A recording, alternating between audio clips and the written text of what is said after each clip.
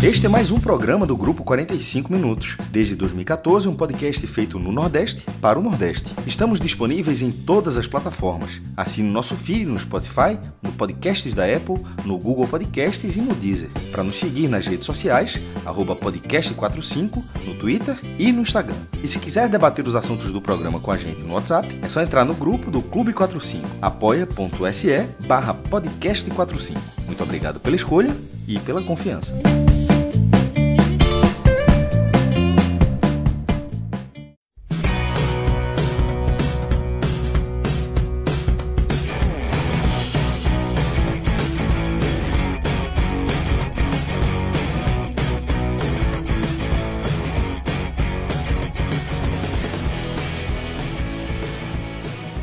Todos bem-vindos e bem-vindas a mais um podcast 45 minutos. Eu sou Fred Figueroa.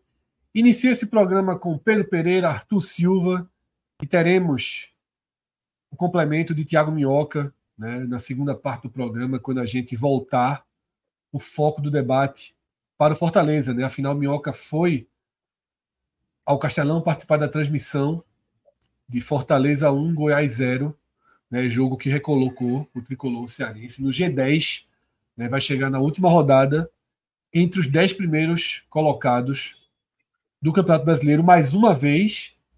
E essa condição de Fortaleza pode acabar ajudando o Bahia em um dos cenários que o tricolor vai precisar para a última rodada. Tá?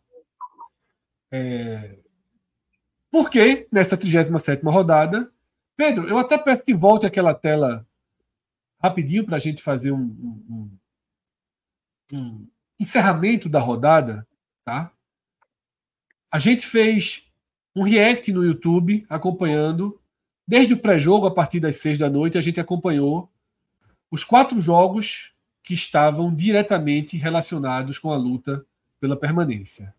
Esses jogos eram América e Bahia, Grêmio e Vasco, Atlético Paranaense e Santos e Botafogo e Cruzeiro. Na parte mais concentrada, na parte mais dramática, a gente tinha Bahia, Vasco e Santos. Os três jogando fora de casa. Os três com missões de peso diferente. O Vasco tinha um jogo duríssimo contra o Grêmio, o Grêmio precisava do resultado em Porto Alegre. E o Grêmio, com dificuldade, com dificuldade, o chute de Soares de fora da área, venceu por 1 a 0. O Santos enfrentava o Atlético Paranaense sem tanta motivação. De acordo com os relatos de Arthur, que acompanhou aqui a partida, trechos da partida, o Santos teve volume, teve a bola em alguns recortes do jogo, mas acabou sendo facilmente batido. E no jogo principal, para o nosso contexto, que era também um jogo teoricamente mais fácil, porque o Bahia enfrentava um América Mineiro rebaixado em uma independência melancólico. O Bahia sai na frente, abre 1 a 0 e sofre uma virada em dois blocos, né?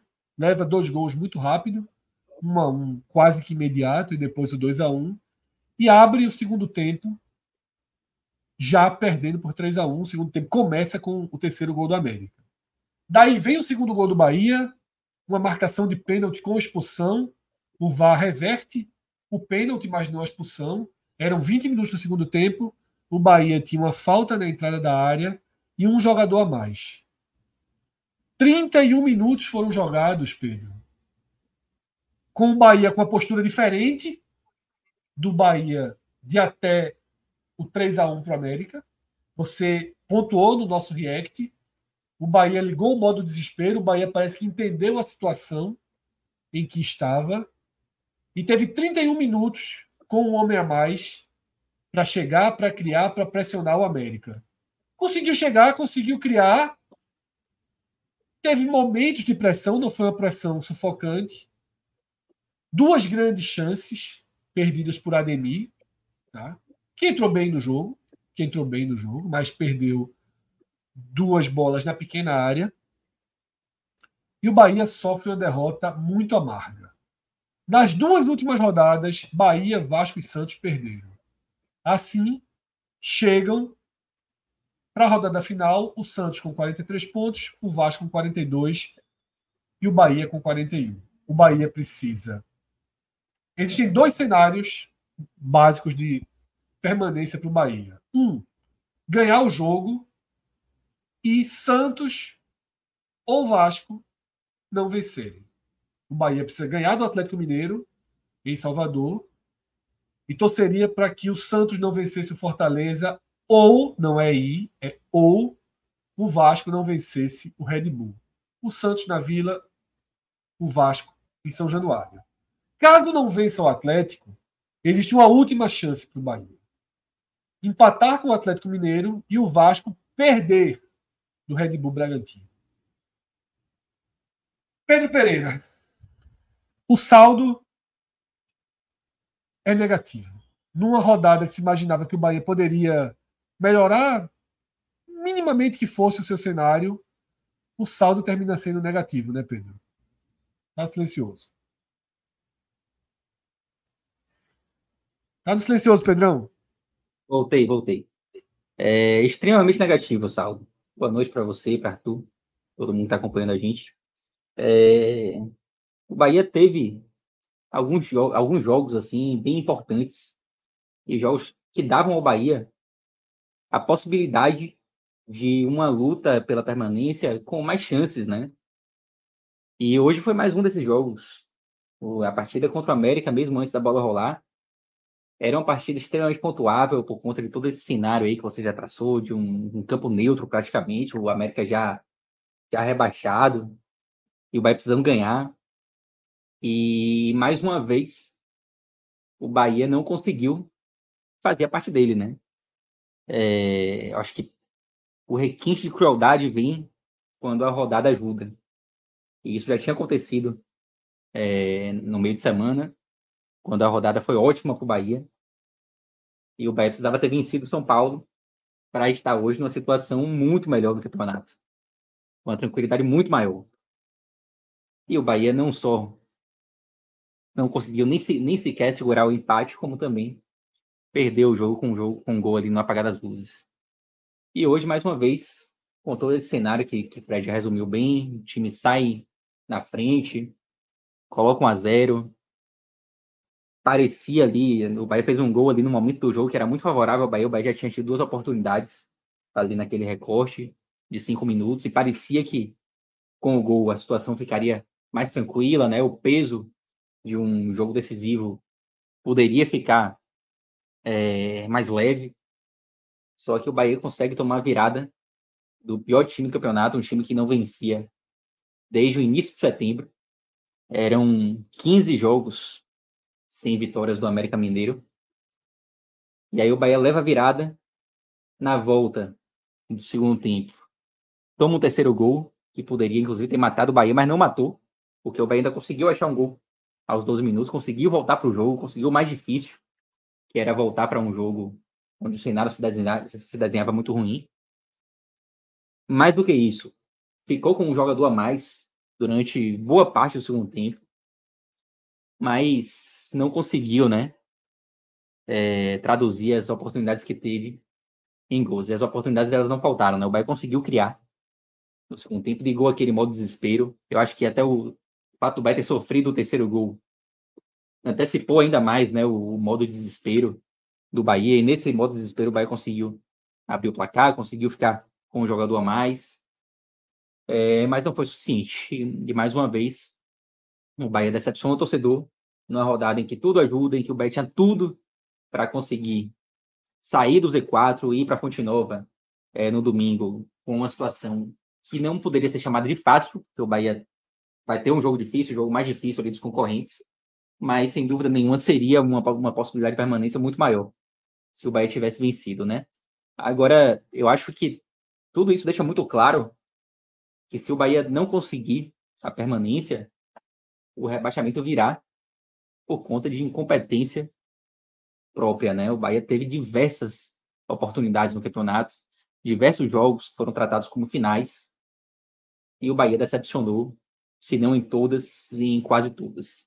Foi assim naquele jogo contra o Santos, que o Bahia é, recolocou o Santos no campeonato. O Santos estava numa situação delicadíssima. no Z4, se perdesse aquele jogo, ia ficar com alguns pontos de diferença em relação à primeira equipe fora do Z4. Foi assim quando pegou o Vasco na Fonte Nova.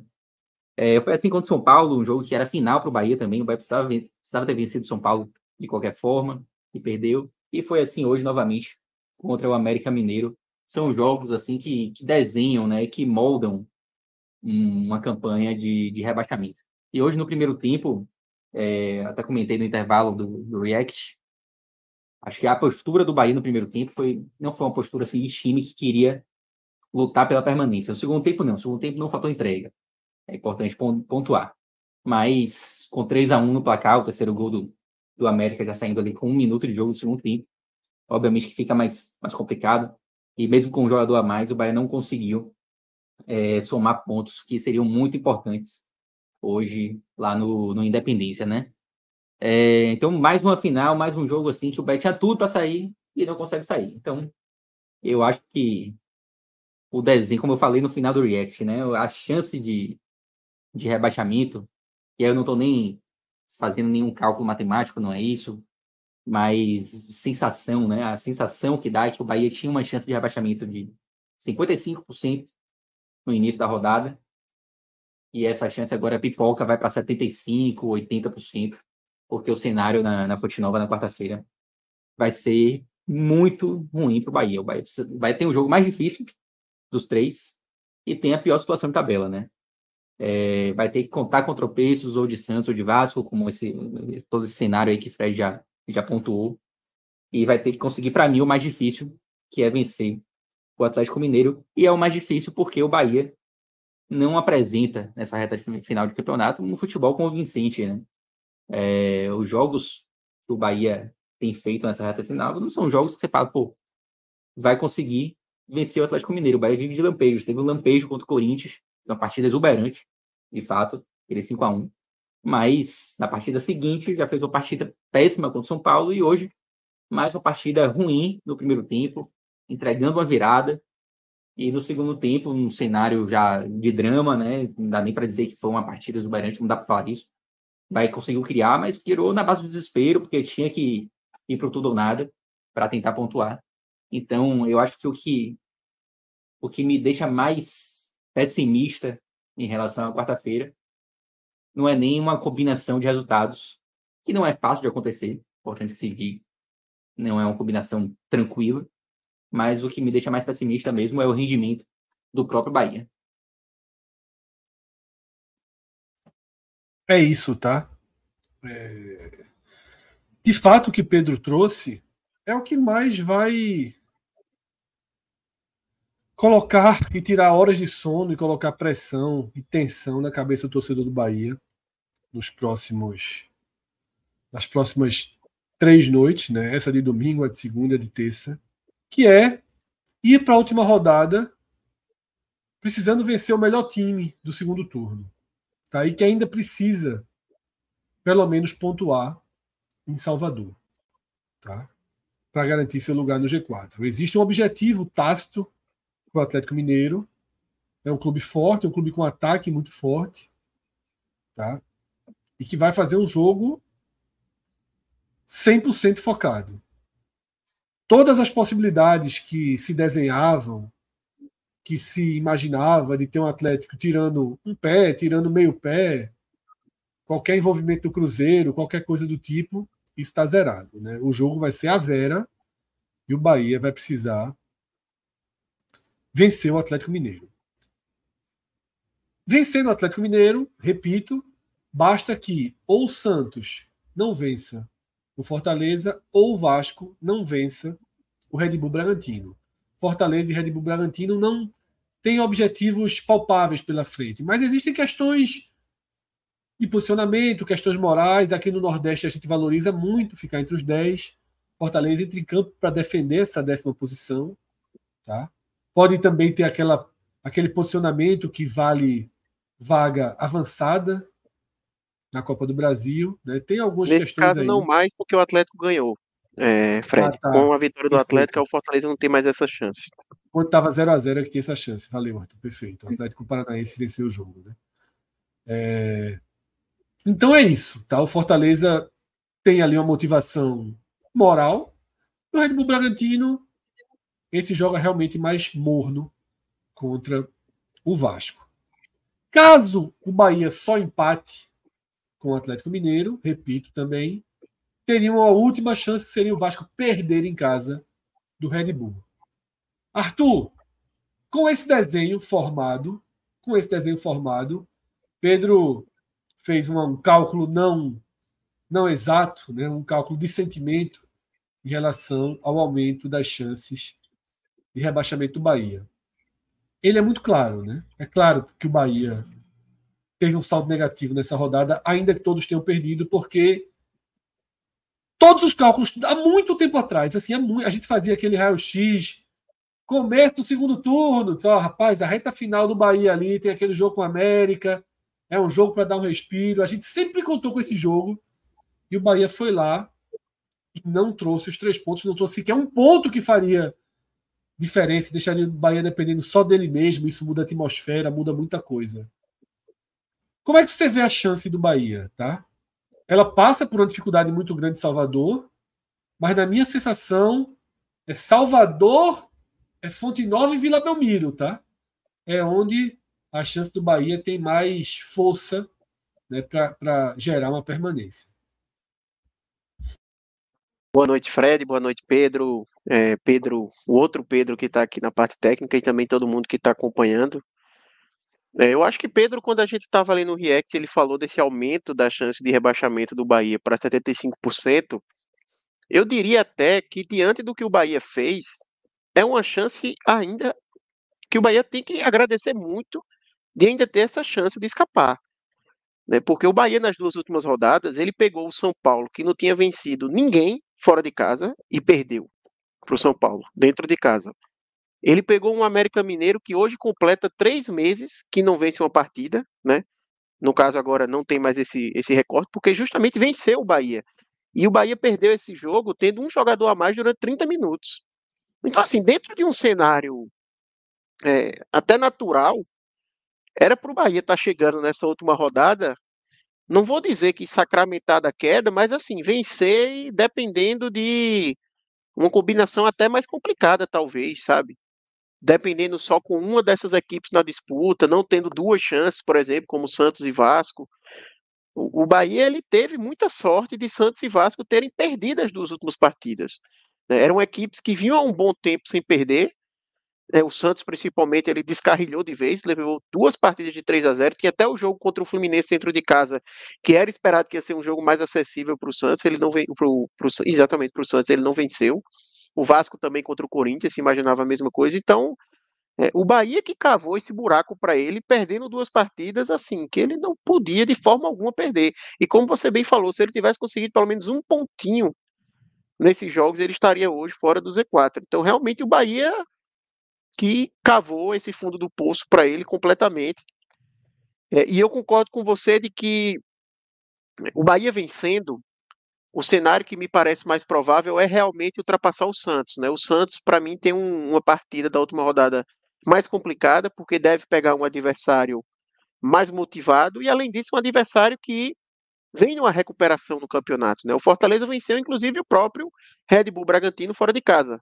Tá certo que foi uma atuação até não tão boa do Fortaleza, na reta final ali até sofrendo, mesmo com o Red Bull tendo dois jogadores a menos, mas venceu, venceu mais uma vez hoje. E é um Red Bull que deu uma desligada no motor durante o campeonato, hoje consegue voltar a vencer, mas enfrentando um Coritiba, um jogo mais acessível, e realmente o, o, o Fortaleza a gente pode imaginar uma disputa ali para ficar entre o G10, até talvez pegar uma nona colocação, né, terminar o campeonato de uma forma mais digna diante do ano que fez. Mas para o Red Bull ser quinto ou sexto realmente não muda basicamente nada é, na vida da equipe, além de que o Vasco ele é uma equipe que mostra mais sinais né, de, de disputa do que o Santos. Né? O Santos perdeu duas partidas seguidas por 3 a 0. Só que o problema desse cenário que eu comentei agora é que ele começa com contando com a vitória do Bahia em cima do Atlético Mineiro. E aí é que está o, o complicador fatal, né? A gente teria que considerar a vitória do Bahia contra o melhor time do campeonato nesse momento. O Atlético Mineiro hoje dentro do Campeonato Brasileiro é quem joga o melhor futebol, já conseguiu, com uma rodada de antecedência, se, sagrar campeão do segundo turno, é, justamente por essa grande recuperação que vem tendo. E é um Bahia que, como eu falei, nas últimas partidas dentro de casa, ele perdeu do Cuiabá por 3 a 0 ele empatou com o Atlético Paranaense e ele perdeu do São Paulo, que não tinha perdido para ninguém, que não tinha vencido ninguém fora de casa, perdão. Então, e agora ele perde para o Lanterna, que há três meses não vencia uma partida. Então, é difícil você ter é, uma grande expectativa, né, que o, que o Bahia vai conseguir vencer essa partida. Mas eu, eu trago até um ponto aqui do que você falou quando a gente estava analisando há pouco tempo esse cenário até de, de reta final de Série A, de que quando chega faltando uma rodada, ali não dá para também você ficar se apegando muito a só o lógico, né? O, o, o ilógico ele entra também na, na, na, conversa, não tem como. Se o torcedor do Bahia fosse apegar apenas no que é racional, ele nem vai para a Fonte Nova. Se ele fosse puramente racional, ele não tem nada que faça ele acreditar né, que o Bahia vai conseguir essa permanência, mas ele tem que acreditar porque é uma partida, né? Quantas vezes a gente viu um jogo de futebol ser definido no detalhe? Esse mesmo Atlético Mineiro, que eu tanto falei bem aqui, perdeu em casa para o Curitiba, empatou com o América Mineiro e já nessa recuperação, né? Então, o futebol ele abre essas portas é, para o Bahia é, e o Bahia ainda tem essa chance do empate, né? É, eu acho que, como você bem falou, o Atlético Mineiro ele vai motivado para esse jogo, não, não tenho dúvidas. Eu acho que o único cenário que o Bahia pode ter durante a partida é um cenário em que o, o Internacional, que vai pegar o Botafogo jogando é, no Beira Rio, o Internacional pode acabar abrindo o placar facilmente contra o Botafogo. Imagine que termina o primeiro tempo 2 a 0 para o Inter, que não é nada também absurdo. O Inter vem numa recuperação no campeonato e o Botafogo numa queda, né? A gente bem sabe.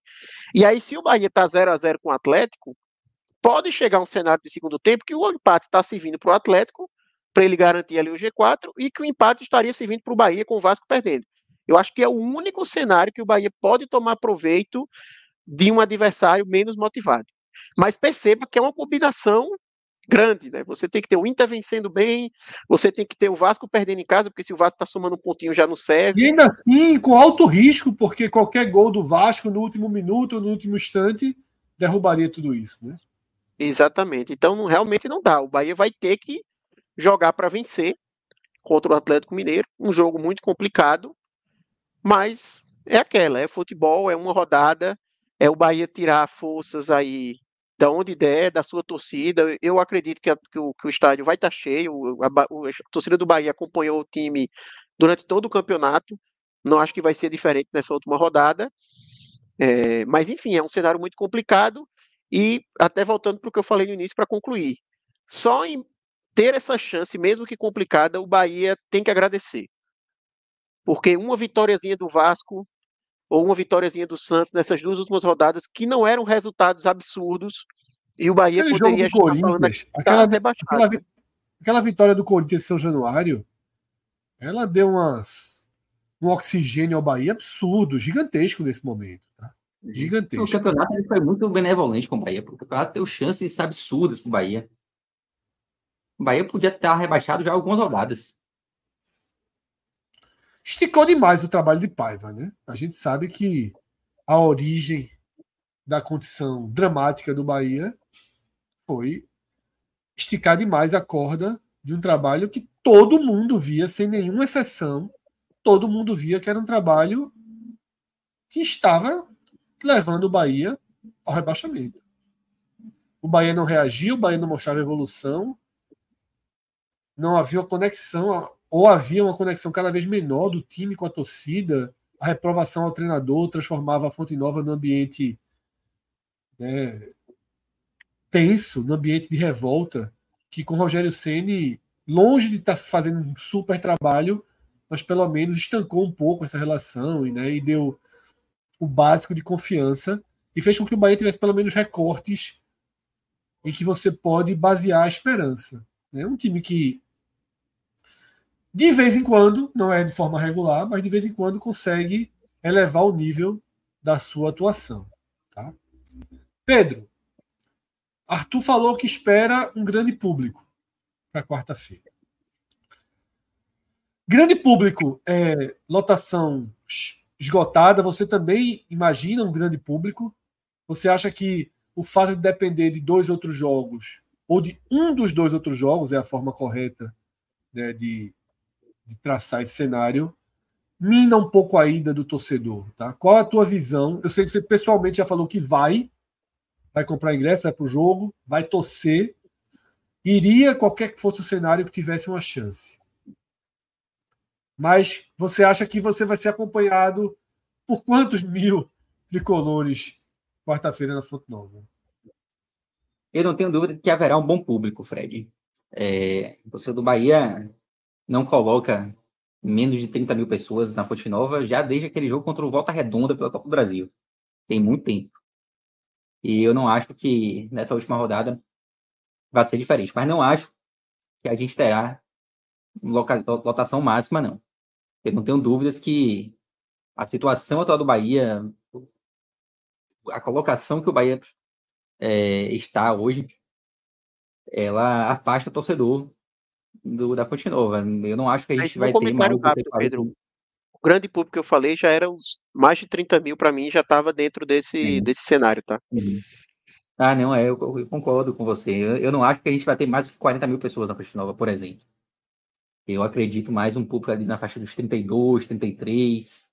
Porque muita gente fica desacreditada, né? Você vê o time jogando o que tem jogado, um time que não consegue vencer o lanterna do campeonato, num jogo que o Bahia precisa desesperadamente do resultado, e perde um time que não vencia 15 jogos. Isso tudo mina, obviamente, a confiança do torcedor. Ainda mais no cenário em que o Bahia não depende apenas de si próprio. Depende também de uma combinação de, de resultados.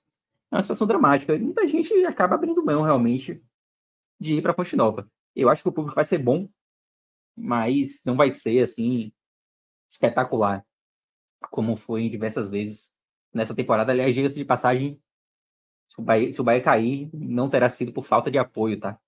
Porque o torcedor do Bahia compareceu em massa durante todo, toda a temporada, desde o primeiro jogo Bahia Juazeirense Pituaçu teve um público gigante para uma estreia do Campeonato Baiano.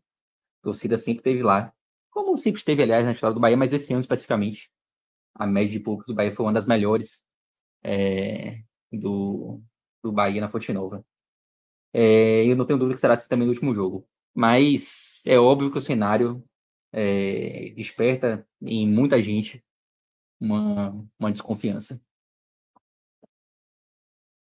É, durante o nosso react, eu estava falando sobre ir ou não a esse tipo de jogo, né? Eu fui buscando pela memória, eu tinha dito que eu fui uma vez, depois lembrei duas, depois lembrei três. E eu acho que foram essas três vezes que eu fui nessa situação em que você vai ao estádio não dependendo apenas do seu resultado de campo. A primeira vez foi aquele esporte e Corinthians, tá? mas os resultados era uma combinação quase impossível o esporte vencendo é, ser rebaixado. Então era basicamente pela vitória. Fui para o Esporte Santos, em que o esporte acabou sendo rebaixado. E eu acho assim, é um sentimento horroroso. Sabe? É um sentimento horroroso. Você vai para um jogo, você se envolve com aquele jogo, mas ao mesmo tempo você fica olhando o celular o tempo inteiro. Eu olhava mais o celular do que o jogo. Aí os resultados vão dando certo, aí você fica com angústia que seu time não está vencendo, aí seu time está vencendo, aí um jogo dá errado, aí sai um gol ali, aí o cara dá a notícia errada aqui, aí falha a internet. É algo muito ruim, é algo muito doído. E eu tinha esquecido, mas eu tinha ido também para aquele Náutico Esporte 2000 e 12. 11, né? 2012. 11, né? 12, né? 2012. Aquele Náutico Esporte, que o Esporte precisava ali de uma combinação meio absurda, porque além de vencer o Náutico, tinha um jogo de dois times paulistas, Português e Ponte, que se eles empatassem, escapavam os dois. Então, era, era uma combinação meio absurda para o esporte e, e, e, e eu fui para aquele jogo, o Sport acaba perdendo do Náutico, né? Resiste, resiste, resiste, mas perde o jogo. Então, o que ficou para mim é a imagem da, do rebaixamento contra o Santos na ilha vencendo. A ilha cheia, não me lembro se lotada, mas a ilha muito cheia, né? E um jogo angustiante do começo ao fim. É algo que eu não, não pensaria em refazer, tá? Eu, por exemplo, já tinha decidido naquele penúltimo jogo dessa Série B, quando o Sport estava enfrentando o Vitória no Barradão, que se houvesse um cenário em que o Sport precisasse de qualquer resultado que não fosse a sua vitória, não iria para a ilha na última rodada. Acabou que o Sport dependia de uma combinação absurda. E não fui eu e não foi quase ninguém. Mas eu não iria. Agora, esse do Bahia, eu acho que eu, torcedor, acabaria indo, tá? Porque eu, eu tenho uma, uma. Eu acho que um dos dois não vence. Eu acho que pelo histórico recente, pelo pelo que Santos e Vasco vem fazendo, sobretudo o Santos, o Fortaleza vai muito forte. Eu tenho um sentimento de que se o Bahia fizer a parte dele, escapa. Claro que é só sentimento. É só sentimento. Mas eu coloco muito questionamento, sobretudo no Santos contra o Fortaleza. Tá? Vocês vão por esse lado ou acham que é considerável a chance do Bahia não subir mesmo vencendo? Que o Bahia tem 75% de chance de cair, 80% de chance de cair, nem se discute. Mas uma vez vencendo, eu acho que isso reduz drasticamente, né? É, eu acho que o Santos, com, esse, com, esses dois últimos resultados, se colocou em uma condição mais, mais complicada, né? Eu acho que a possibilidade do Santos tropeçar diante do Fortaleza, ela existe. E para mim é uma chance mais clara do que o Vasco, porque o Vasco enfrenta, o Bragantino e vai lá que o Bragantino é uma equipe, inclusive, superior ao Vasco, mas o Bragantino não vive um momento tão bom assim, né? O Bragantino derrapou muito nas últimas rodadas, tanto que acabou perdendo a condição de G4. O Bragantino chegou a, a ser, talvez, ali, a ser apontado como o principal concorrente do Botafogo em determinado momento pelo título. E meio que desandou nas rodadas finais. Então, entre Santos e Vasco, eu acredito mais num tropeço do, do Santos. É, agora, sim, na dividida, eu acho que se você me perguntasse a chance maior de um rebaixamento do Bahia, o Bahia ganhando, é, mas os outros times é, fazendo a parte deles também, ou se há uma chance, ou se a, a chance maior seria do Bahia, o próprio Bahia já perder qualquer chance é, no confronto contra o Atlético Mineiro, eu não tenho dúvida que a chance maior de um tropeço do Bahia contra o Atlético Mineiro. Eu acho mais fácil o Bahia cair sem fazer a parte dele do que cair porque conseguiu vencer, mas os resultados é, não ajudaram. É, de qualquer forma, a situação é, é dramática. É, falando sobre essa, essa questão de ir, de não ir, eu vou porque existe uma chance ainda. E, enquanto há possibilidade, eu vou porque eu gosto também. Eu gosto de estar lá. É, e em algumas. Eu já, eu já tive também, já vivi situações como essa, Bahia Cruzeiro, em 2003, por exemplo, era um jogo que o Bahia estava também com o rebaixamento já desenhado, pegava o, o campeão, né? E acabou tomando pacote de 7 a 0 do Cruzeiro. É, não teve qualquer chance naquele jogo, né? Eu estava lá. E o torcedor do Bahia também se lembra muito de Bahia Fast Club pela Série C, é, terceira fase da Série C. última rodada, o Bahia dependia de um resultado improvável também do Rio Branco, e precisava vencer o, Fest, e, naquele jogo, o jogo do Bahia era muito fácil, né? Era, era praticamente estava as contadas que o Bahia ganhava, porque o Fast Club já não tinha mais qualquer chance de, de é, classificação. E o jogo acabou se desenhando, se desenhando muito difícil. O Bahia só conseguiu fazer um gol já aos cinquenta e tantos. Um gol de Charles que entrou para a história do Bahia. Mas para você ver como a situação do Bahia é complicada, né? A gente está aqui se lembrando de Bahia Fast Club. Foi um, um evento, um jogo que marcou época e marcou até uma geração de, de torcedores. A situação é muito, muito, muito tensa para o Bahia, mas eu estou vendo que Arthur colocou aí um fio de esperança, né? Eu ia, eu ia primeiro respondendo o que o Fred falou, assim, eu acho que se o Bahia vence, ele se torna favorito a escapar. Ele hoje é favorito a cair. Se ele considerando que a gente pulou aqui no tempo e o Bahia venceu o jogo dele. Eu acho que ele é favorito a escapar, porque eu acho realmente que há uma boa chance ali de Vasco e Santos, ou Santos, né, é, vacilarem. Mas eu acho também que há uma chance razoável dos dois acabarem vencendo, né? Não, não consigo cravar assim, ah, se o Bahia vencer, se salvou. Eu acho que ele melhora muito a sua situação. Ele se torna favorito a isso, mas não, não cravo, não. Agora, quem cravou foi João de Andrade Neto. Cravou que o Bahia caiu. Então, pintam esperança aí. Pedro até já ficou mais, mais animado. Acho que o público vai aumentar umas 3 mil pessoas, pelo menos agora. E ele cravou isso durante o jogo, viu? Não esperou nem terminar. O jogo estava rolando ainda, ele já tinha, já tinha cravado.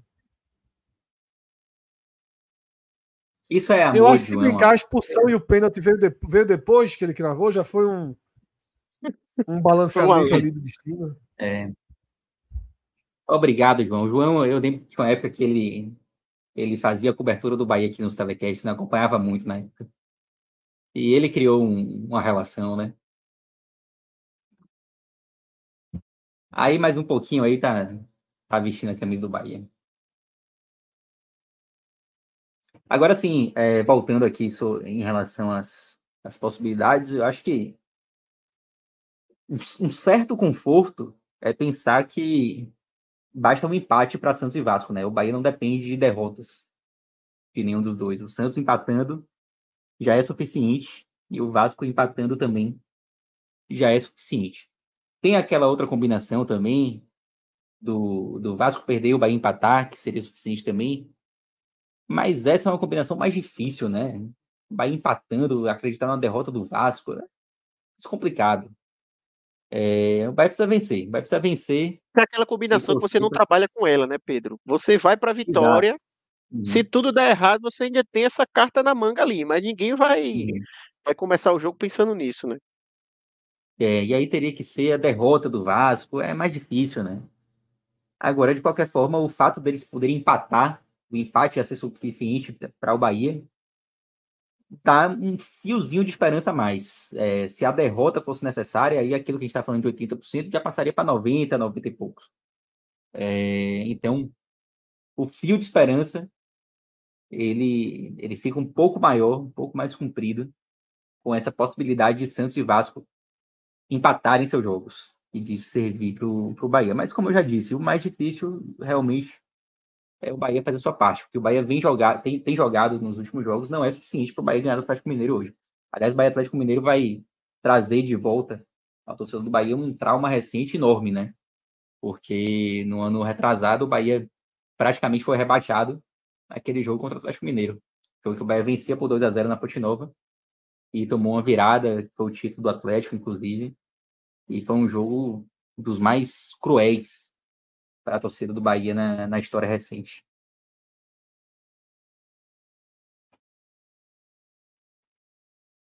É isso. Pedro, é, a gente tem falado muito né, de apatia, de espírito. É, e minutos antes da partida, no nosso React, quando sai, quando o time já, quando já ia ser iniciada a partida, eu falei que a escalação era aquela mesmo e não tinha muito para onde correr. E você concordou. Existe alguma questão tática e técnica a ser resolvida, a ser modificada daqui para quarta-feira, ou é realmente não tem muito o que fazer em relação a escolhas de jogador para decisão e escolha de forma de jogar? O que está realmente é, é, é, circulando e sendo decisivo é postura, é teto também, porque não é só postura, é teto de, de, de atuação que o teto do Bahia anda abaixo, né? Perfeito. Exatamente. Não é só postura, é teto também. Eu não vejo nenhuma possibilidade de evolução técnica é, daqui para quarta-feira. Até porque há pouco tempo também, né? E o Bahia jogou o ano inteiro. E como você falou, chegou no teto, né? Não, não, não acho que seja possível uma mudança drástica que vai fazer com que o Bahia jogue um futebol vistoso. É, o que pode fazer com que o Bahia jogue um futebol vistoso é a postura, né? Alguns jogos o Bahia teve uma postura favorável, como foi o do Corinthians, por exemplo, e conseguiu fazer boas partidas. É, em outros momentos, até as partidas não foram exuberantes, mas a postura do time fez com que os resultados aparecessem, como foi contra o Fortaleza e contra o Inter. É, então, nesse momento, eu não, não acredito assim, em nenhuma mudança de peças é, muito brusca, é, nem, nem uma mudança tática também algo novo que a gente ainda não tenha visto esse ano. É, não acho que seja um momento mais para isso. Agora é acreditar que a postura possa ser suficiente para vencer o, o Atlético Mineiro e tentar torcer pelos outros resultados, né? Mas acho que o, o Bahia cometeu erros no decorrer do ano que agora já é tarde demais para tentar mudar. É, e aí você já citou a questão de Renato Paiva, que de fato demorou muito, se, talvez se o Rogério se tivesse chegado antes, é, o Bahia poderia ter conseguido resultados é, melhores. Inclusive, vale dizer que o aproveitamento do Bahia com o Rogério Senna é melhor com o Renato Paiva. O Rogério Senna conseguiu, conquistou, conseguiu ganhar muito mais jogos do que Paiva. E, além disso, acho que o Bahia cometeu um erro também. Não diria nem da montagem de elenco lá atrás, mas cometeu erros quando teve a oportunidade de é, trazer algumas peças que já eram importantes e todo mundo já via ali que precisava trazer. E o Bahia não não trouxe ou quando trouxe trouxe errado. E aí eu vou citar especialmente o, a posição ali de centroavante que todo mundo via que o Bahia tinha uma carência absurda. E o Bahia chega ao final do ano aí com Everaldo e Mingote que foram dois jogadores que tiveram um ano para se esquecer. Everaldo com alguns lampejos em determinados jogos, mas muitas vezes o Bahia deixou de pontuar, perdeu pontos importantes, pontos que poderiam estar sendo cruciais agora, porque não teve o centroavante. É, e também em algumas peças também de, de, reposição que o Bahia pecou. Por exemplo, o Bahia, um, dos poucos reforços que o Bahia trouxe naquela segunda janela foi o Léo Cittadini, que é um cara que pouco ajudou. Esteve machucado aí durante muito tempo, e quando entrou também não, não trouxe assim o diferencial que o Bahia precisava. Então, eu acho que esses foram os erros cruciais assim do Bahia. Primeiro, a insistência com Paiva, que chegou um momento que eu já nem acreditava mais que Paiva seria demitido e acho que não seria se ele, se ele próprio não tivesse pedido para sair. É, e depois em algum, alguns erros assim de, de montagem de elenco e também de não aproveitar a possibilidade ali da, da segunda janela para resolver algum, algumas questões também de elenco. Então, são erros que custam caro e que podem custar o rebaixamento do Bahia. É isso.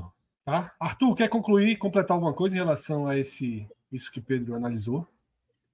Eu ia, eu ia só complementar, não sei se Pedro concorda comigo, mas assim, eu obviamente concordo que Paiva ele é um personagem principal é, nessa, nessa campanha ruim do Bahia, que pode culminar no rebaixamento.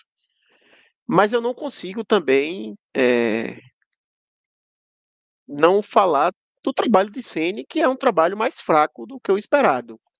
Né? Eu acho que Rogério Ceni, quando ele chegou, ele tinha totais condições de fazer com que o Bahia chegasse nessa última rodada numa situação melhor do que a que se encontra nesse momento. Óbvio que o trabalho de Paiva ele é pior, a gente consegue ver isso em termos até mesmo do aproveitamento da equipe, mas não dá para deixar de ver que tudo isso que a gente falou agora, dos vacilos que o Bahia cometeu nos últimos três jogos dentro de casa, o vacilo que o Bahia cometeu fora de casa hoje contra o América Mineiro, tá na conta também de Sene, né? Porque mesmo com todo o problema de Paiva, se o Bahia tivesse vencido o América Mineiro, que fazia três meses que não vencia, o Bahia estaria hoje numa situação de 44 pontos, onde, sabe, o empate dele já seria suficiente para ele escapar do rebaixamento. Se o Bahia tivesse vencido hoje, o Bahia precisaria apenas do empate contra o Atlético Mineiro, sabe? Eu acho que o Bahia chegar nessa situação na última rodada também tem da contribuição de Sene. Não dá para deixar de tocar nesse assunto, mas óbvio que é, o protagonista, vamos assim dizer, é, é Renato Paiva. Eu, eu acho, Arthur, que de fato não dá para isentar completamente Ceni. Mas eu acho que o trabalho dele foi aceitável, assim. É, é claro que quando você está numa reta final, você espera mais, você espera que o treinador que chega coloque o time do Bahia, coloque o time né, numa, numa posição ali fora, fora da zona de rebaixamento. E por mais que o aproveitamento de Cine não seja um aproveitamento de Z4, mas ele precisava ter, ter, ter obtido mais pontos para conseguir deixar o Bahia fora da zona, né? Então, não acho que dá para isentar. Mas eu acho que a parcela de culpa ela é consideravelmente mais baixa, assim, obviamente você também trouxe aí Paiva como principal responsável, eu concordo com você. É, eu acho que a parcela de Ceni ela é relativamente baixa. Estou é, até puxando aqui, Ceni estreou na 23 rodada, tem um aproveitamento de 42%, é um aproveitamento do terceiro colocado hoje. Então, talvez se ele tivesse é, vindo para o Bahia um pouco antes, a gente tivesse um cenário diferente. É, então não dá para isentar, mas também não, não acho que seja um grande culpado e acho que tem que ser o técnico para 2024, inclusive. Não acho que é o culpado a ponto de ser responsabilizado por um possível rebaixamento. É, eu também não acho não, para responsabilizado não, mas eu sou um pouco da linha de Arthur mesmo. Eu acho que assim a sensação, a, a, a sensação é que a relação desgastou rápido demais. Né? A cara de Sene não é, não é uma cara boa. Você não, não, precisa, não precisa ter aquela imagem que viralizou do pós-jogo né, contra o São Paulo. Hoje mesmo a cara é uma cara amarga, fechada. Né? Não, não, não parece ter a, a, a resposta ideal. Mas eu acho que é isso. Nessa situação do Bahia, a gente já já vem algumas horas, na verdade, desde o React, né? dando um nó, dando mas, outro nó, um detalhe, mas. Só, só, só para não, só não perder em relação ao que você falou sobre relacionamento e tal, e é óbvio que ter um relacionamento com positivo ali com o elenco é algo importantíssimo e que Cine historicamente peca muito quanto, quanto a isso. Mas uma das principais queixas que o torcedor do Baixinho, a gente até tratou disso no, no React, era em relação à postura, à falta de cobrança, e, pô, com o time dentro da zona de rebaixamento, perdendo jogos cruciais, eu acho que tem que haver cobrança, tem que haver cara amarrada mesmo. É claro que dentro de um limite que não prejudique tanto o relacionamento com, com o elenco, mas eu acho que os resultados que foram obtidos, eles também é, acabam tornando mais fácil assim um desgaste do treinador com, com o elenco.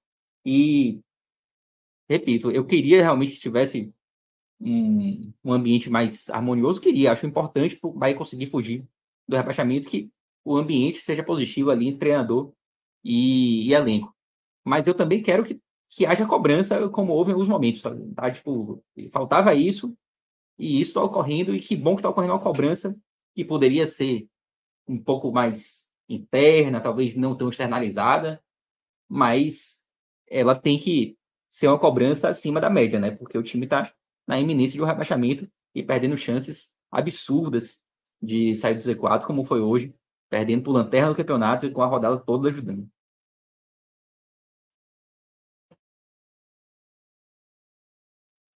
É isso, tá? Como eu estava dizendo, né?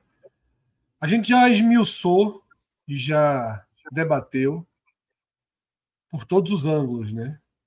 A frustração do Bahia nessa rodada, a frustração do Bahia nas duas últimas rodadas, que ela vem junto com a de Santos e Vasco, e o cenário que fica para rodada final, tá? Todas as cartas já foram para a mesa, não sei, não tem mais de onde a gente extrair é, assunto desse tema. Acho que já está colocado, muito bem colocado, o sentimento que fica para o torcedor do Bahia, o ângulo mais passional e também a visão mais fria. Tá? A gente já trouxe todas essas composições. É... É...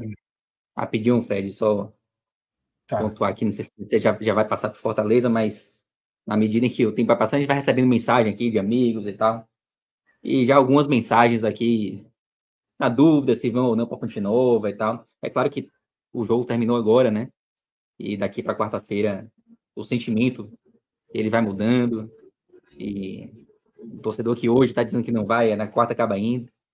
Mas muita gente aqui nos, nos grupos, eu dou uma olhadinha aqui no WhatsApp, algumas mensagens também, já da galera que sempre vai, na dúvida se vai ou não, e já desesperançosa. É. O sentimento é muito ruim, mas no domingo ele é diferente na segunda, na terça. Na quarta-feira o cara já acorda dizendo que tá achando que o astral tá bom. Isso aí também o futebol, ele, a gente sabe como são as cadeias de aceitação e assimilação de um resultado negativo de uma condição adversa. Isso vai mudando. Tá? Isso daqui para quarta-feira se reverte em esperança. Hoje não é o dia mesmo, não. Hoje é frustração, hoje é cabeça quente, toalha no chão, mas depois o cara pega a toalha e vai, e vai remontando. E como eu ia dizendo, acho que a, a gente chega né, no fim da questão do Bahia.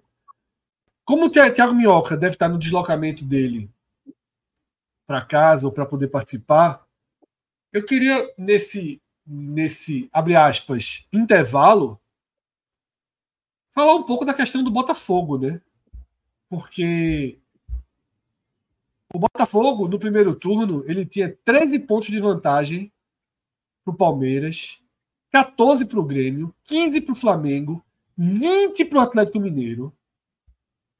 E chega na última rodada fora do G4.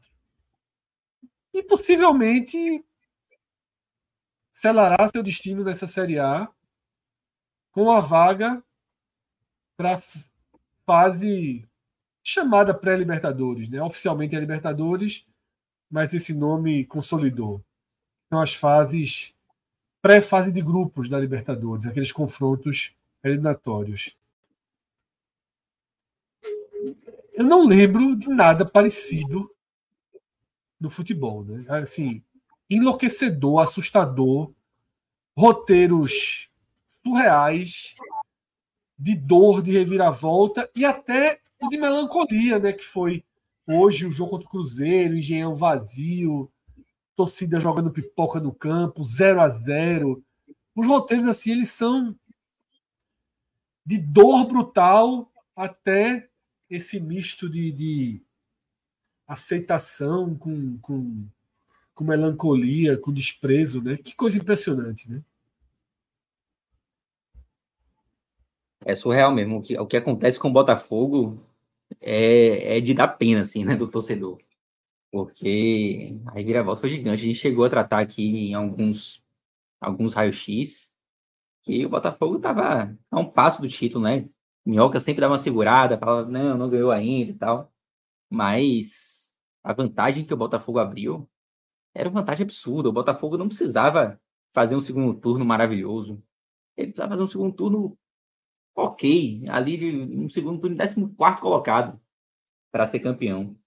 Mas a derrocada e, e a forma com que os resultados acontecem, né, no Botafogo são inacreditáveis. É um negócio para virar filme. É, o que acontece com o Botafogo desse ano. A gente até comentava no último programa aqui, na, na quinta-feira, quinta-feira foi, que a, a situação do Botafogo, ela, a galera faz os vídeos ali de, de bastidores, né? E daqui a alguns anos, é claro que o clube ele não, ele não libera, né? Mas daqui a alguns anos isso vai vazar, isso vai virar um filme sensacional, assim, sobre o que aconteceu com o Botafogo 2023 e o campeonato Minhoca também citou na, na quinta que o campeonato ele vai, ele vai ficar sendo lembrado como o campeonato do Botafogo, né? É, e não de quem for campeão. É algo surreal, assim. A virada de turno a gente cravou, né? Quando tem a virada de turno, a gente faz aquele power rank, né? Vamos dizer assim, a gente ranqueia as equipes e naquele momento a gente cravou o título do Botafogo, porque realmente era algo sem cravar, né? O Botafogo ele fez algo extremamente fora da curva. Eu não me recordo de nada assim, nenhum campeonato. Né? E tanto é que vai ficar como o Pedro falou. Eu acho que se acontece do Bahia cair, o torcedor do Bahia vai dizer: ah, aquele ano que a gente caiu. Qual? Não, o ano que o Botafogo liderou e, e abriu 13 pontos e depois ganhou. É esse nível, assim, sabe? O campeonato de 2023 vai ser identificado como o campeonato da pipocada do Botafogo. E assim, e é uma pipocada que só, só a pipocada explica, assim, porque quando você olha os jogos do Botafogo, principalmente nessa reta agora, né, que ele não vence mais nenhuma partida, faz não sei quantos jogos já vai fazer, eu não sei se são 10 jogos que ele não vence. Você olha as partidas, o Botafogo ele competiu em basicamente todas elas. Não teve nenhum jogo assim que o Botafogo, sabe, levou 3 a 0 não, não competiu, não disputou. Em todos os jogos o Botafogo disputa, o Botafogo quase todos ficou na frente do placar. Mas simplesmente acontece de entregar um gol no final, é, um vacilo assim monumental, algo acontece e o resultado não vem, e o resultado é esse, né? É, a campanha do Botafogo é surreal. Eu até vi, no, eu comentei quinta-feira, né? Eu vi um pessoal comentando no Twitter, tirando onda, que assim, o Botafogo tá de parabéns. Essa é a melhor campanha contra o rebaixamento que eu já vi. Porque é, é, é, é surreal, assim. Não, você não acredita que é uma campanha de, de briga pelo título com um clube que fez uma reta final tão ruim como essa. Mas ao mesmo tempo você não consegue conceber uma equipe que teve aquele começo de temporada, uma equipe que terminou o turno daquela forma, é, e não só em pontuação, tá? O Botafogo ele jogava bem, né? Ele conseguia é, boas, boas, é, bons desempenhos e no final, fora do G4, e concordo com o Fred, eu acho que a, a maior probabilidade nesse momento é que ele de fato termine o campeonato fora do G4. Ele vai ter um jogo bem complicado contra, contra o Internacional do Beira Rio. Então, a maior chance é que ele realmente não vença o Inter lá e aí termine. Talvez ele possa terminar até em sexto. Pode até perder essa posição aí pro, pro, pro Red Bull Bragantino. Então, surreal, assim, é, é, é, sem palavras. E é um pouco batido, porque é algo que a gente já vem falando semana por semana e sempre gera um pouco aquela sensação de que não, não é possível. Na próxima rodada eles vão vencer e, e, e vai dar uma retomada um pouco. Porque, por exemplo, o Fortaleza, ele viveu um momento parecido com esse, né? Ele teve uma sequência muito grande sem vencer, mas aí a partir do momento que ele vence o Red Bull, ele agora já vence, e aí o Fortaleza já vai para uma última rodada com um sentimento completamente diferente. Um sentimento de, por exemplo, poder vencer o Santos e terminar o campeonato até mesmo em nono, sabe? Então, para uma equipe que estava numa sequência negativa tão grande aí, a gente vê quanto uma vitória pode girar a chave, né? Eu acho que talvez o, que faltou no Botafogo foi isso, sabe? Uma vitória nesse meio do caminho ali, de tantos vacilos, talvez o Botafogo tivesse retomado um pouco e hoje, é, não sei se estaria na liderança, mas pelo menos próximo ali, sabe? O Botafogo ele vai chegar na última rodada fora do G4 e sem nenhuma chance mais de título, né? Então, surreal, assim, surreal. Do outro lado da moeda, Palmeiras, que tem um imã né, para ser campeão, né? Porque é de uma eficiência oposta do Botafogo na hora da verdade, né? E que depois da eliminação da Libertadores parecia ser uma, uma reta final ali de Abel, né? Um fim melancólico, a gente pode dizer, da, da passagem dele pelo Palmeiras. Ele, o Palmeiras cai ali na Libertadores, nos pênaltis, depois tem uma sequência de resultados ruins, é, salvo engano, até inclusive a maior sequência sem vencer com o Abel Ferreira, a maior sequência de derrotas, algo assim. Se imaginava que não ia ter reviravolta, até porque ninguém imaginava mais que o Campeonato Brasileiro estava aberto. Uma pressão enorme em cima de Leila, por exemplo, de não ter trazido reforços, não ia vir um título, e agora o Palmeiras. Toma é, 3 a 0 no Botafogo, no Engenhão, né? Toma 3 a 0 é, Sim. 3 a 0 no primeiro tempo. E, é, e não só 3 a 0 no né? primeiro tempo. Até os 37 do segundo tempo, estava 3 a 1 com um pênalti para o Botafogo. E aí depois vem toda a, a, reviravolta, que é ali, obviamente, que começa a, a, a reviravolta do campeonato com o Palmeiras sendo campeão. E sendo basicamente campeão com uma rodada de antecedência ainda. Ainda tem esse, esse requinte de, de, é, do, do desempenho ali. Não veio, mas... É, matematicamente não veio, mas assim, não tem como, ah, né? E foi até engraçado a entrevista de Hendrick, porque perguntam para ele, né, se já é campeão, ele disse, não, não, não é campeão não, porque o, o Atlético Mineiro pode ganhar de 7, de 10. É engraçado porque assim, ele quis dizer no sentido de que eles não podem vacilar, né? Mas pareceu até que que jogou o Bahia pra merda, assim, né? Pô, o Bahia vai perder, perder de 7, de 10 pro Atlético, não tá garantido, não. Não seria, né? Citei aqui esse Bahia Cruzeiro, cenário parecido, contra o rival do Atlético, né? E o Bahia tomou sete, poderia ter sido mais. Mas é muita loucura, e... né? Mas aí é. o Cruzeiro para, pô. Se chegar a notícia. É, chegar no... Vamos dizer, o Cruzeiro tá ganhando é. o Palmeiras. Chega a notícia, ó. Saiu o oitavo lá já. Já saiu oito na Fonte Nova. Aí o Cruzeiro vai, vai, vai, Palmeiras. Vai, vai, vai, vai, vai, vai. Faz teu gol aí. né? Porque o Cruzeiro ainda É, briga o- por uma Sul-Americanazinha. Acho que ele garantiu Tá, né? Tá- a Sula. Tá na- É, garantida a Sula, basicamente. Garantiu por causa do número de vitórias. O Santos não alcança mais. Não, pode alcançar. Pode alcançar. Alcança, sim. O Santos ficaria na frente no número de vitórias. Ah, É, eu, eu vi o número de empates. Eu vi o número de têm 11 empates. Eu vi errado. Os dois, os dois têm 11 vitórias. E aí Ou o Santos seja, ficaria com, com 12.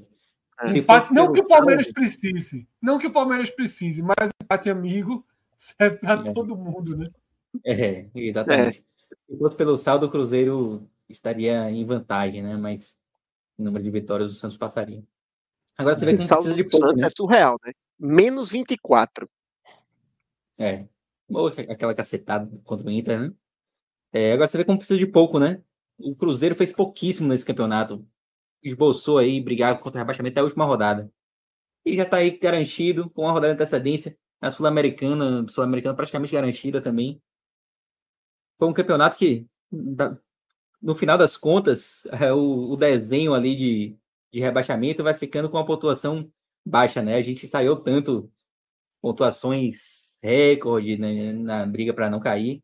E a gente tem nesse momento a possibilidade do, do Vasco se safar com 42. É. Essa conta a gente já fez para lá e já fez para cá.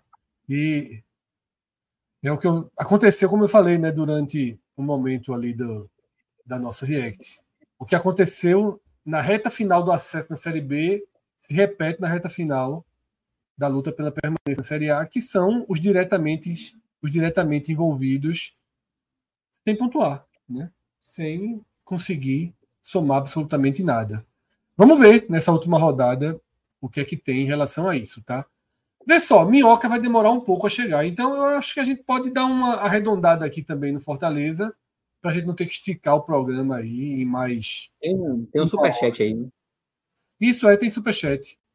Vamos com o superchat? Faz tempo que chegou, né? Foi, foi de. Foi de André, né? Pedrão, joga o superchat aí, por favor.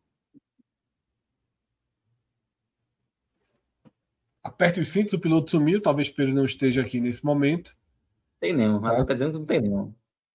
Não, chegou um superchat de André Luiz Araújo. ah, tá. Justo o superchat, justo o superchat. Não sei se Pedro já localizou, mas o superchat de André diz o seguinte: Pedro, o castigo tá vindo por aqueles 100 reais que você apostou no esporte. Foi contra o Atlético Goianiense, né? Eu não tinha visto, não, mas é justo. É justo. É justo, é justo. Não foi uma sacada, não, rapaz. Eu acreditava realmente do, do esporte ali, mas o esporte não, não ajudou. Mas é isso mesmo. Faz parte. Olha, André, sem superchat para falar do esporte, que ninguém aguenta mais, não. Pelo amor de Deus, vamos virar o ano. Tem um argentino chegando aí, também tem um argentino chegando aí agora. E aí a gente, a gente vira a chave. Mas é, é, Arthur citou pouco, né, Arthur? O Fortaleza que tinha, quando você estava analisando o tamanho do congelamento do Botafogo no campeonato, o Fortaleza viveu essa curva, e Pedro, durante a transmissão, também citou que esse momento que o, brasileiro, que o Fortaleza estava no brasileiro antes de vencer o Red Bull Bragantino, tá? esse momento que o Fortaleza estava já era pior que a largada de 2022. A largada que o Fortaleza basicamente afundou e, e tinha uma condição quase que irreversível de rebaixamento, projetando toda a história. E viveu algo pior no meio, depois da, na verdade, ele tinha perdido os dois jogos anteriores, a final da Sul-Americana, e depois que voltou do Uruguai, não conseguiu se acertar. Mas venceu as duas partidas, vai para Vila Belmiro e vai na décima posição do campeonato.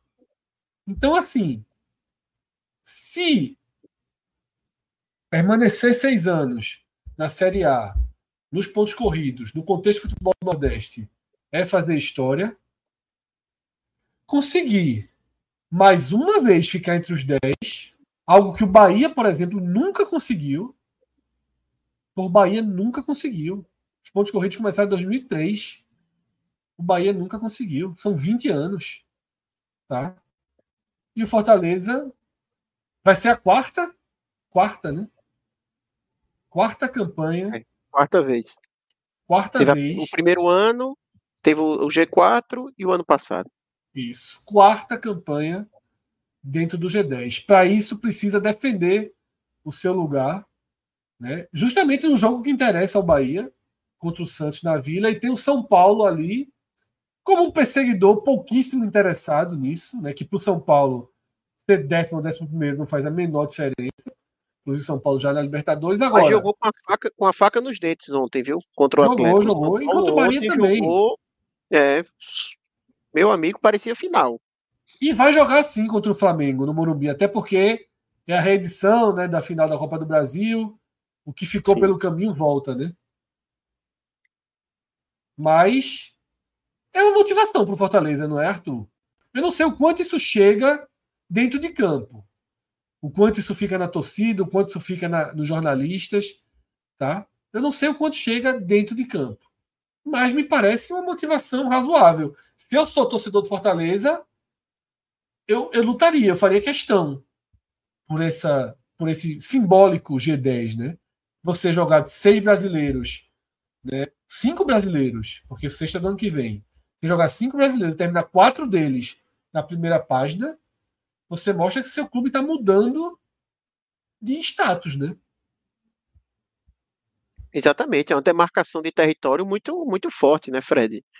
É, porque você ficar uma vez ali, você, alguém pode até dizer, ah, não, foi uma conjuntura, montou um bom time para uma temporada, mas você conseguir isso de forma regular, né, é algo realmente importante.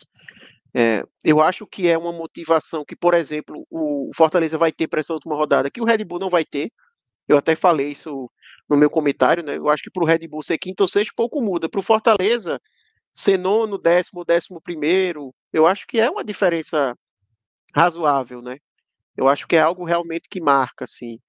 É, o que você falou é verdade, a gente não sabe até que ponto isso se traduz dentro do vestiário, até que ponto os jogadores se motivam por isso, mas ao mesmo tempo eu acho que um elenco como o do Fortaleza, sabe, que sabe do seu potencial, sabe que poderia ter sido um ano ainda mais histórico, né, poderia ter sido realmente marcado de vez assim o nome na história do clube, com um título é, fenomenal. E aí você depois entra numa sequência como essa, eu acho que tem muito ali da questão também do, do elenco de estar, tá, sabe, mordido com essa situação, sabe? Querer usar também como uma oportunidade de manter essa reação, de deixar uma imagem positiva no final da temporada, né?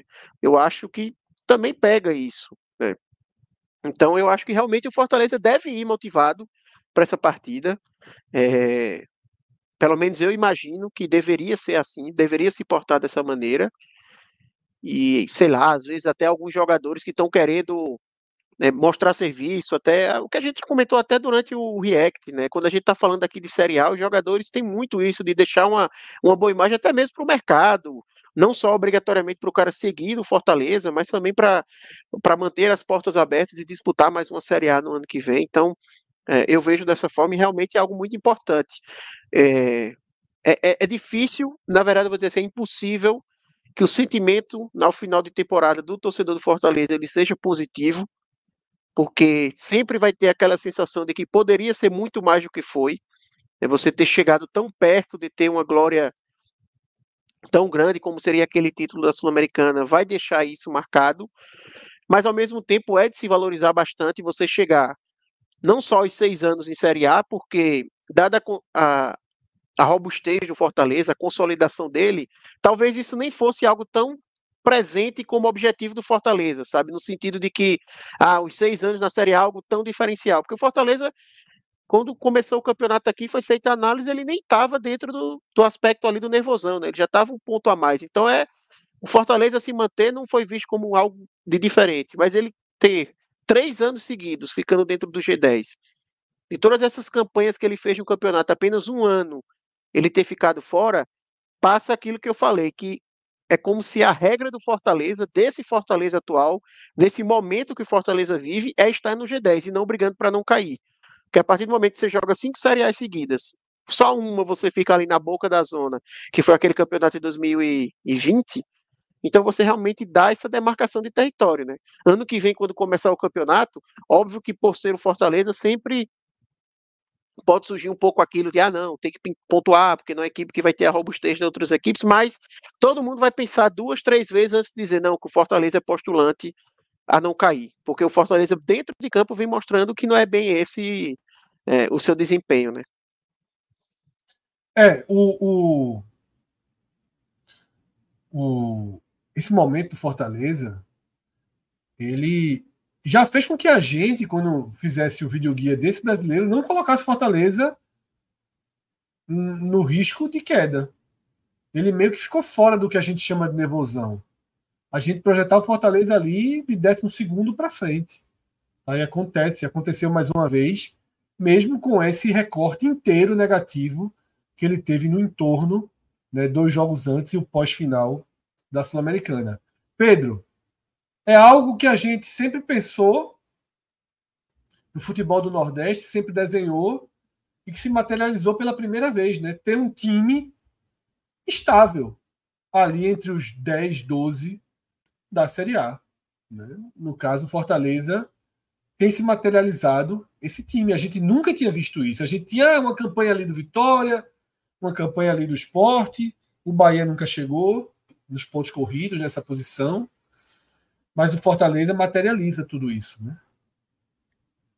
É, e já vai para o, o próximo ano, novamente, quando a gente for fazer aqui o, o raio-x, o, aquele primeiro raio-x, né? Também fugiu o nome do, do, programa agora que a gente faz ali, o áudio guia, né? A gente não vai colocar novamente o Fortaleza como candidato a rebaixamento, a não ser que as coisas deem muito errado no início do ano, né? Fortaleza, ele consegue uma estabilidade que até então era inédita no futebol nordestino, como o Fred falou.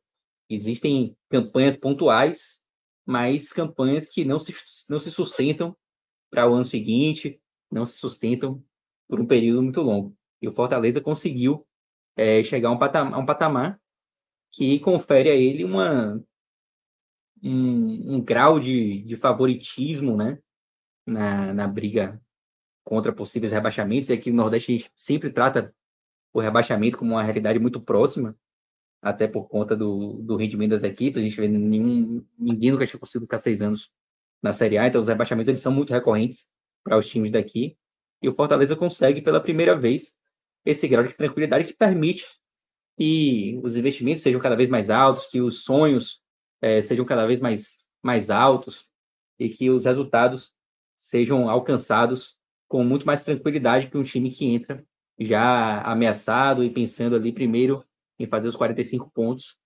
para se livrar do rebaixamento e depois ver o que acontece, né? Ver, ver o que, o que consegue buscar além do, do rebaixamento. É um momento que, de fato, a gente nunca viu no Nordeste. E depois que você consegue se estabilizar nessa condição, os anos seguintes, eles ficam... Os desafios, eles ficam mais fáceis né, de serem alcançados. E o Fortaleza está nessa condição. O Fortaleza entra no ano que vem novamente sonhando já com a Libertadores. É um, patamar diferente, né?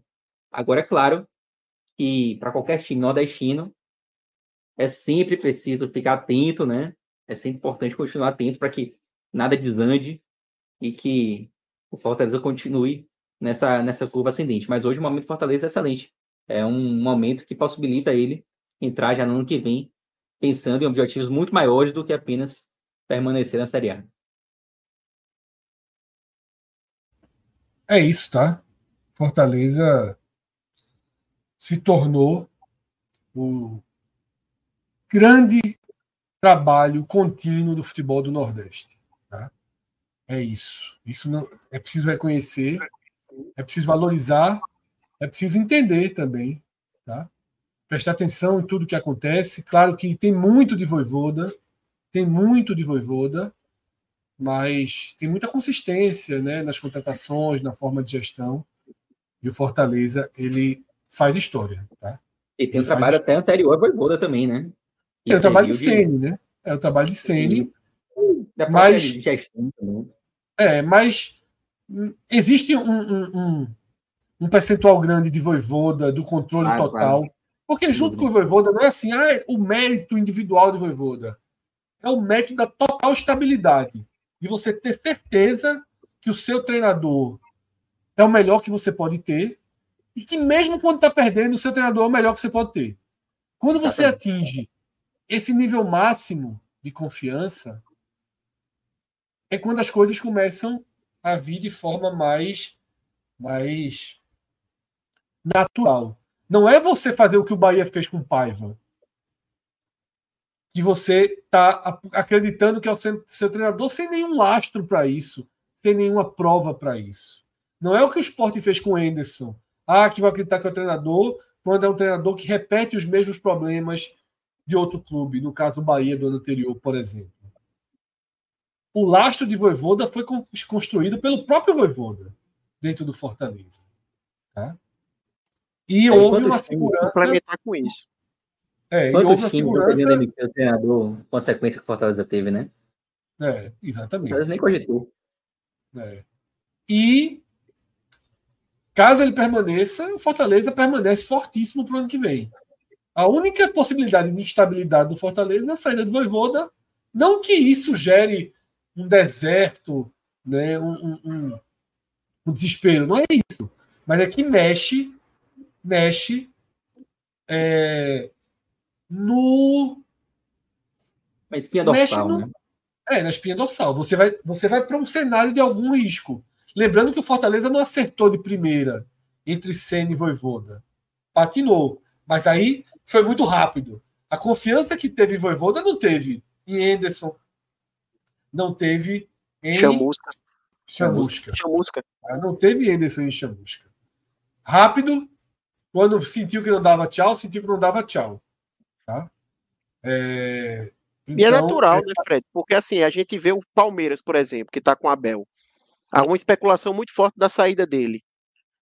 Para o Palmeiras, que tem o poderio financeiro que tem, que é o Palmeiras, que atual campeão brasileiro, vamos dizer, e que se o se Abel sair, também é um risco muito grande do que pode acontecer, né? Imagine com Fortaleza também. Então, é natural quando você tem um técnico que se encaixou tão bem, que faz um trabalho tão bom, a saída dele se torna um risco de instabilidade, né? Não que o trabalho que foi feito ele é jogado fora, mas porque é, você está num caminho ali que está funcionando e nunca se sabe, né? Mas é, é, eu concordo muito assim que tem muito do dedo de Voivoda no, nesse é, belíssimo momento do Fortaleza, mas claro que tem muito também do trabalho da diretoria, até porque Voivoda não era um, um nome é, conhecido, né? Foi um nome que o Fortaleza foi buscar, um nome desconhecido, né? Foi atrás é, para trazer ele e que acertou não só na hora que trouxe, mas também, como você bem lembrou, na hora que bancou, né? Porque ano passado, naquele momento que o Fortaleza vivia, coisa mais natural do mundo era que Voivoda fosse demitido é, e fosse e a Libertadores, né, para dar compensação, né? A Libertadores, eu não sei se não tivesse a Libertadores, ele não teria sido demitido. Mas ele estava bem na Libertadores, né? Sim. Tinha... A torcida do Fortaleza que entrou num, num transe meio absurdo, meio louco, ano passado, de querer abrir mão de Libertadores. Teve umas, lembra que tinha umas conversas meio, uhum. meio nonsense nesse sentido. Mas a diretoria não foi por esse lado, não. Priorizou Libertadores e depois conseguiu a remontada espetacular e acima da média no brasileiro. Tá? A escolha do Fortaleza no passado poderia ter levado o Fortaleza ao rebaixamento, era natural. Segundo tudo, o Fortaleza foi muito forte. Tá? Como o do Atlético, né? semelhante ao do Atlético desse ano. Mas é isso, tá? A gente vai finalizando esse raio-x. E aí fiquem atentos ao longo dessa semana porque a gente vai começar a trazer novidades na nossa programação, tá? A gente está preparando algumas ideias, vamos fazer alguns testes aí para ter uma programação mais intensa em 2024, novas faixas aí de programas. A gente, inclusive, sexta-feira fez um, um mini podcast ali quando teve o anúncio meio jogada de marketing, aquela história toda envolvendo Vitória e Fatal Models. A gente fez um programinha gravado sobre aquilo, jogou no ar, né, que a gente chamou de podzinho, que a gente criou um pouquinho, fez também quando a gente estava viajando, né? Só que a gente publicava nas redes sociais, quando a gente estava lá acompanhando a final da, da Sul-Americana lá em Maldonado, em Punta del Este. A gente fez alguns programas também. A gente vai experimentar alguns formatos aí ao longo dessa semana, ao longo de dezembro, de janeiro, Tá? Fiquem atentos, eu não estou nem é, é, querendo confirmar nada agora, porque a gente sabe que as coisas aqui no podcast 45 minutos são meio de surpresa, são meio definidas em cima da hora, mas pode ser que a partir de, dessa semana a gente já tenha novidades aí na programação. Mas o que é que está certo, tá? O que é que está certo na programação? A gente tem nessa segunda-feira à noite um, um, um, um 45 minutos raiz, em que a gente vai debater os temas importantes aí da semana, seja dos times que estão em ação, seja de Fortaleza e Bahia, seja dos, dos que estão reconstruindo. Né? O Santa Cruz já, já tem jogadores chegando, Náutico, Esporte pode ter o treinador anunciado amanhã. Então, nessa segunda-feira, a gente tem o Raiz. Tá? Na terça-feira, a gente tem o Fire Game Gerações, tá? que seria semana passada. A gente vai ter com o Arthur reforçando o time dos novinhos, o que promete ser um grande reforço, porque. A pressão tá grande. Arthur tem alma de velho. Arthur, quantos anos, rapaz? 28, é novinho. 28. A lataria aí tá estragada. estragada. Ah, tá, é, tem alma Santa de Cruz velho. é o cara, né? O Santa Cruz maltrata o cara. Mas Arthur tem alma de velho, deve ser um reforço forte, viu? Para o time dos novinhos. Então, quem não acompanhou ainda, é um programa muito divertido que a gente está fazendo. Tá? O Fire Games é um programa de perguntas e respostas. E nesse tal de, ano a gente vai ter várias edições. Tá? A gente vai ter a revanche dos Gerações, que é a galera sub-28 contra a galera mais 40, mais 39 por ali. Tá? A gente vai ter o Fire Games de Natal, a gente vai ter o Fire Games retrospectiva de 2023. Então a gente tem muita coisa aí para fazer nesse outro lado do 45 minutos, que é o lado H-Menon. Tá? Ô, Fred. É, fala, Pedro. Tem um, um super chat aí antes de terminar. E também tem um comentário que eu recebi aqui no WhatsApp de um amigo meu que está assistindo o programa, falando sobre essa questão de Renato Paiva, só passar rapidinho, porque ele trouxe um recorte aquele que quando o Renato Paiva foi demitido, o Bahia estava em 16, estava fora do Z4, e por isso não poderia ser tão culpado. Mas o Bahia estava fora do Z4 porque o Z4 pontuava muito abaixo da, da média. A pontuação do Bahia era de Z4. Só por conta disso que o Bahia não estava na zona de rebaixamento. A, o aproveitamento de Paiva era um, era um aproveitamento de Z4. O Paiva saiu com 33% de aproveitamento no Campeonato Brasileiro. Rogério Senna tem hoje 42%. É, e tem o um superchat aí que eu não vi ainda, mas Arthur já colocou aqui no. Superchat é uma... de João. Valeu, João. Valeu, Pedro, João. tenho uma dúvida. Nas compras milionárias feitas pelo Bahia, existem vários atletas do grupo City. Esses atletas entram na conta do contrato? Entram na conta. O que não entra na conta é jogador que, que vai embora no meio da temporada. Por exemplo, é, Chaves foi a, a compra mais, mais cara é, da história do Bahia e esse valor ele não vai ser ele não, ele não, não vai ser calculado para aqueles mínimos contratuais, né? É, justamente por, pelo fato de Chaves ele ter saído antes do fim da temporada. O jogador ele precisa ficar é, durante toda a temporada é, no Bahia. Mas é, eu acho que o, o investimento que o Bahia fez já deixa claro que os mínimos contratuais eles vão ser batidos com certa folga e com certa velocidade no Bahia, a não ser que muita coisa mude. É, é claro que a gente vai acompanhar os mínimos e tal, mas é, em princípio me parece que esse mínimo vai ser batido muito, muito antes daquele prazo inicial de 15 anos. Não, parece sim. Tá? Não sei, não sei. A gente vai ter muita dúvida sobre o que vai acontecer com caso o rebaixamento se materialize, se confirme. E aí, não sei, se um ver, não sei se a gente vai ver Biel jogando na segunda divisão. Uhum. Não sei se a gente vai ver Gilberto jogando na segunda divisão. Isso também. Tenho muita curiosidade quanto a isso. Biel jogou segunda divisão ano passado, né? Mas é, tenho curiosidade também de como vai acontecer isso. De toda forma, é importante que se diga que o Bahia tem um mínimo de investimento é, definido por contrato, tá? E esse mínimo ele é até reduzido quando há um rebaixamento para a Série B. De toda forma, é apenas o mínimo, não quer dizer que o City ele vai buscar ficar no, no mínimo. Ele pode gastar muito mais do que gastou esse ano, por exemplo, se quiser. É... Mesmo com essa redução do mínimo.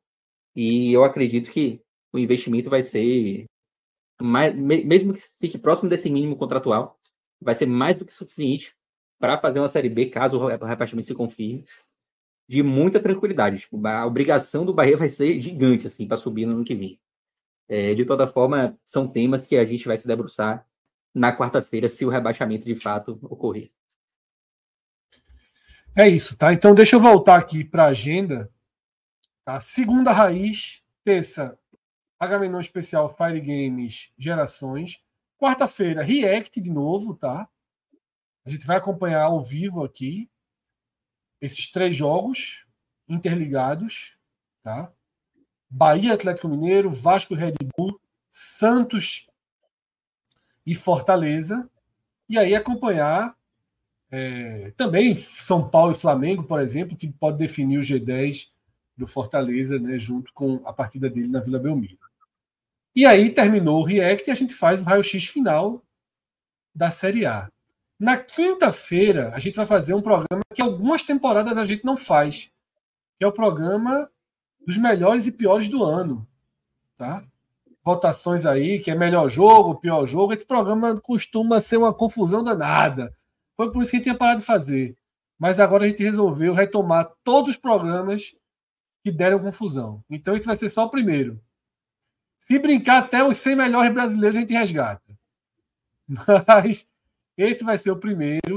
E reza a lenda, tá? Reza a lenda que ainda em 2023 a gente vai lançar uma série especial, tá?